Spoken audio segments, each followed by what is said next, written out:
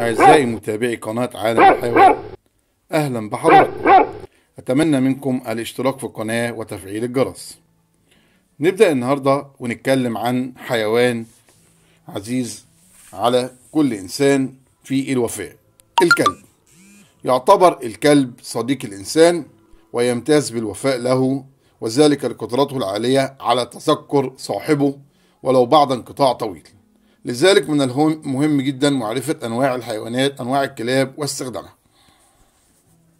كلب. يعد الكلب من الحيوانات الأليفة المشهورة في العالم. فهو ينتمي إلى الفصيلة الكلبية. فهو من الثدييات.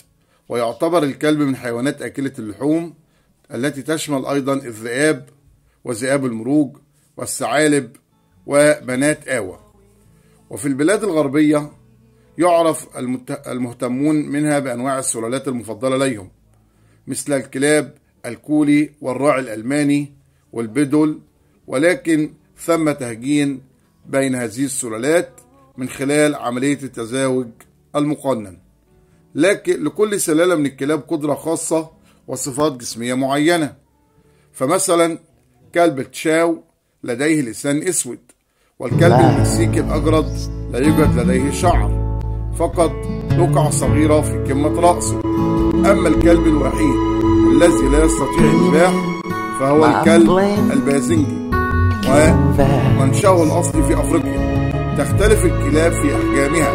تعتبر الشواو أصغر السلالات الذي لا يزن حوالي 2 كيلو جرام أما ارتفاعه 3 سنتي عند الكتف. الكلب الذئبي الأيرلندي يعد من أطول السلالات حيث يصل ارتفاعه 86 سم أما يعد الشأن بردرج من أثقل الكلاب حيث يصل وزنه إلى 90 كيلو جرام كلب برانكو أبرز استخدامات الكلب.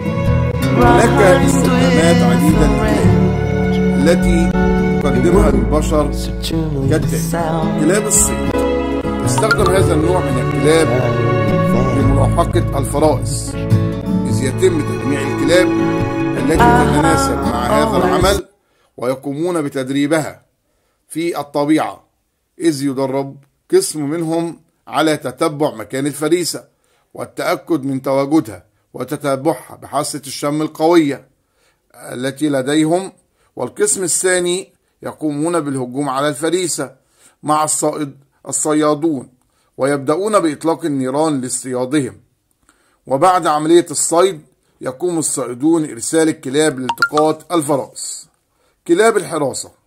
لقد شاع انتشار هذا النوع من الكلاب قديما إذ يقومون باستخدامها في حراسة البيوت والممتلكات. أما الآن فقد قل استخدام الكلاب الحراسة في الوقت الحالي. نتيجة تطور ووجود أجهزة متطورة تقوم بهذا الدور. كلاب الرعاة. هذه الكلاب يستخدمها الرعاة الذين يمتلكون قطيعة من الأغنام وتعد القطط من العدو اللدود للكلب حيث أن هناك عداء بين الكلب وبين القطة من قديم الأزل وهناك عداوة تجمع هذه الحيوانات فكما هو معروف للعالم كله. هناك أيضا كلاب الحقول كلاب بولوسية. هذه الكلاب في اختصاص الشرطة إذ يبحثون عن هذه السلالة من الكلاب ويعملون على تدريبها وترويضها لمساعدتهم في العمل في القضاء على الجرائم ومن يسعى لأحداثها. أنواع الكلاب. هناك العديد من الكلاب التي تكون سلالتها نقية. هذا يعني أنه ينتمي إلى نفس السلالة أبوه. أما السلالات المختلفة فتسمى هجين هذا يعني أنه لا ينتمي إلى نفس السلالة أبواه. أما هجين المركب متعدد الأصول. هو الكلب الذي أسلافه متنوعة.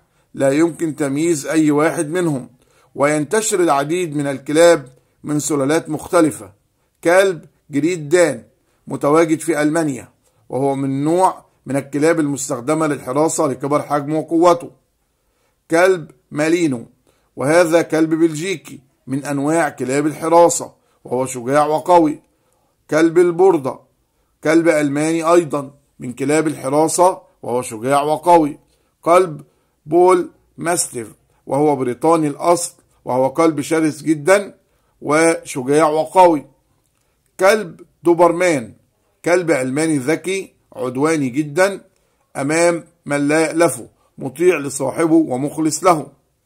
كلب الروت وايل وهو كلب علماني قوي وشرس وعنيد ويعتبر من كلاب الحراسة.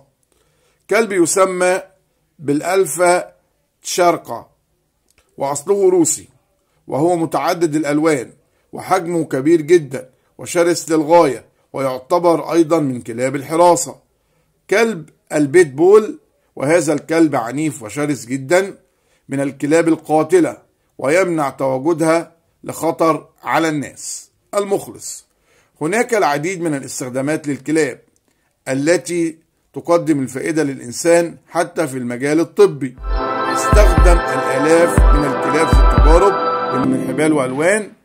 بعض البلدان أيضا وفقا لقوانين هذه البلد يلزم الشخص بربط الكلب بحبل مقوض لحيوانه في الأماكن العامة. حتى لا تحدث إثارة وذعر وفوضى بين الناس.